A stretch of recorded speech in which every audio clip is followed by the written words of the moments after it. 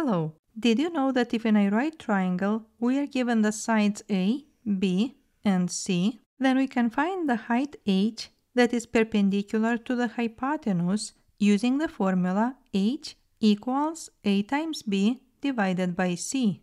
I will show you two explanations to this formula and let's start with the first one.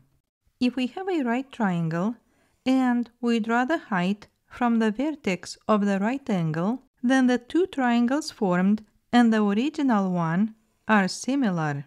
And in similar triangles, the corresponding sides are proportional. For example, in the triangle to the right, the shorter side is h and the hypotenuse is a. In the original triangle, the shorter side is b and the hypotenuse is c.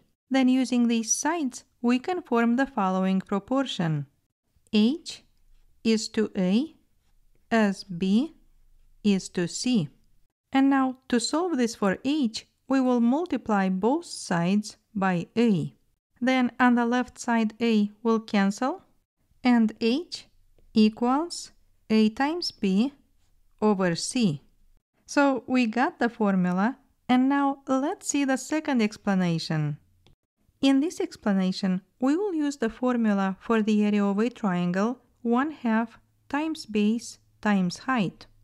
If we let c to be the base of this triangle and h the height, then we can write that a equals 1 half times c and times h.